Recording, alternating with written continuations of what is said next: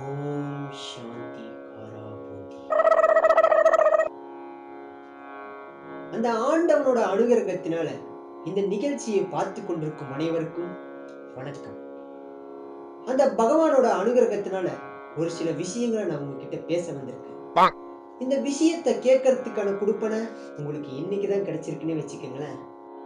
நம்ம மனுஷ வாழ்க்கையில அதாவது இந்த மாண்ட வாழ்க்கையில எவ்வளவோ பிரச்சனைகளை சந்திக்கிறோங்க கடன் பிரச்சனை காதல் பிரச்சனை கல்யாண பிரச்சனை சினிமா ரீதியிலான பிரச்சனை பில்லி சூனிய ஏவல் பிரச்சனை முக்கியமா பாய் வெஸ்டி பிரச்சனை. இப்படி எவ்வளவோ பிரச்சனைகளை நம்ம சந்திச்சிட்டு இருக்கோம். ஆனா இனி உங்கள் வாழ்க்கையில ஏற்படும் துன்பங்கள் துயரங்கள் கஷ்டங்கள் இன்னையோட நிவர்த்தி ஆயிடும். அந்த பகவானோட அனுகிரகம் பரிபூரணமா உங்ககிட்ட இருக்கிறனால தான் நீங்க இந்த நிகழ்ச்சியை பார்த்துக்கிட்டு இருக்கீங்க.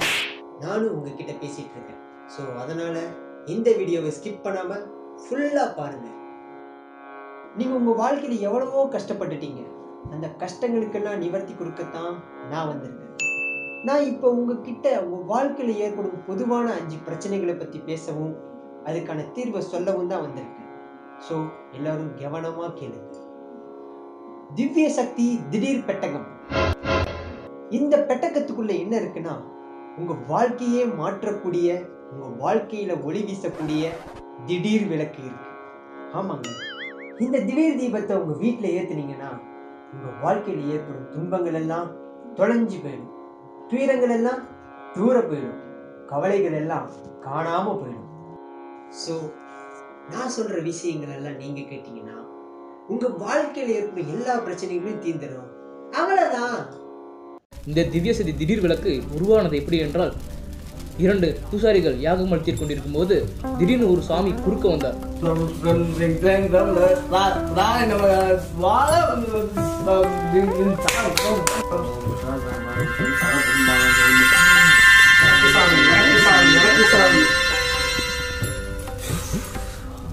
ஓம் பள்ளி விளக்கு சினிமா நடிகை சிலுக்கு திடீர் விளக்கு. மனித உருவில் அந்த சாமியை கண்டதும் இரண்டு பூசாரிகளும் வியப்படைந்தனர்.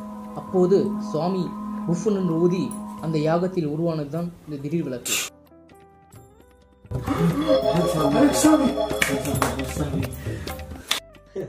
எல்லாருமே இந்த விளக்கு எப்படி உருவாச்சுன்னு பார்த்துருப்பீங்க. இப்ப அந்த விளக்குனால யார் யாரெல்லாம் பயனடைஞ்சிருக்காங்கன்றத பார்க்க போறீங்க. பாருங்க. வணக்கம். என் பேரு நாராயணன்.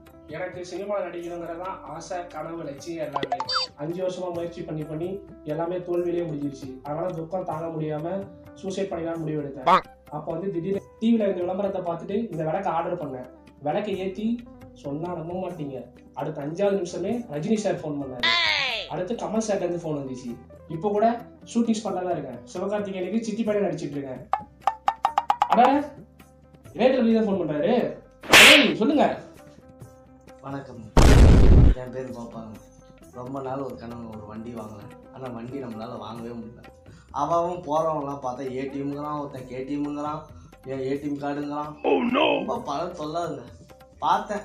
சரின்னு எங்கள் அம்மா போய் பால் வாங்கிட்டு வாடான்னு சொன்னாங்க. அப்போ கூட நம்மள்கிட்ட வண்டி இல்லை. சரி நடந்து போகலான்னு நான் போகும்போது தாங்க பார்த்தேன் கோபாலத்தில் திடீர்னு ஒரு விளக்குன்னு ஒன்று எல்ஜி ஷோரூமில் ஒன்று விளம்பரம் ஓடிட்டு இருந்தோம் சரி ரோடு கிராஸ் பண்ணலாம் கிராஸ் பண்ணும்போது ஆட்டோவில் செய்வது துணிஞ்சு செய்யணுங்களா சரி நானும் பால் வாங்கிட்டு வீட்டுக்கு வந்தேன். வீட்டுக்கு வந்தோன்னு பார்த்தோன்னா அந்த வீட்லேயும் அதே விளம்பரம் நானும் மனசே ரொம்ப கஷ்டமாக இருக்குது சரி அந்த அந்த விளக்கு ஆர்டர் போட்டு வாங்கிடலான்னு வாங்கினேன் வாங்க அடுத்த செகண்டே நானும் வண்டி வாங்கிட்டேன் எப்படின்னு பார்த்தீங்களா திருடிட்டு வந்தாங்க அதாங்க செய்வதை திருடி செய்யிட்டு நன்றி.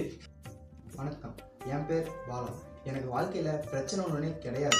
என்னடா பிரச்சனையே இல்லாத வாழ்க்கை ஒரு வாழ்க்கையா? அப்படின்னு நினைக்கும் போது தான் என் ஃப்ரெண்டு ஞாபகம் தான் நான் போய் அவன்கிட்ட கேட்டேன் மச்சான் என்னடா அவன் வீட்டில் எப்பவுமே பிரச்சனையாகவே இருக்கு? அப்பா அவன் சொன்ன பதில் இந்த மாதிரி ஒரு விளக்கு வாங்கினேன்டா அது ஏற்றுலேருந்தே எங்கள் வீட்டில் பிரச்சனையாகவே இருக்கு. அப்போது நானும் அந்த விளக்கு வாங்கி பார்த்தினேன் அப்போலேருந்து எனக்கும் பிரச்சனை பிரச்சனை தந்த விளக்குக்கு நன்றி. வணக்கங்க என் பேர் பிரகாஷ். எங்கள் அப்பா டெய்லி குடிச்சு வீட்டுக்கு வருவாருங்க. எங்கள் அம்மாவுக்கும் எங்கள் அப்பாவுக்கும் பிரச்சனையாக தாங்க இருக்கும். டெய்லியும் இந்த மாதிரி பிரச்சனையாக போயிட்டு இருக்கும்போது தான் என் ஃப்ரெண்டு ஞாபகம் தான் எங்கள் ஃப்ரெண்டோட அப்பாவும் டெய்லி குடிச்சிட்டு இருப்பாருங்க. திடீர்னு அவர் குடிப்பழக்கத்தை நிப்பாட்டிட்டாரு.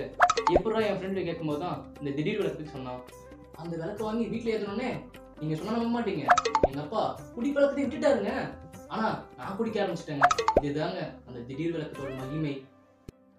இந்த விளக்கு மூலியமாக யார் யார் பயனடைஞ்சாங்கன்றதை நீங்கள் இந்த வீடியோவில் பார்த்துருப்பீங்க.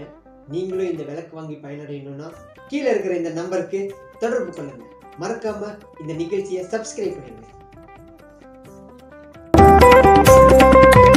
Thank you.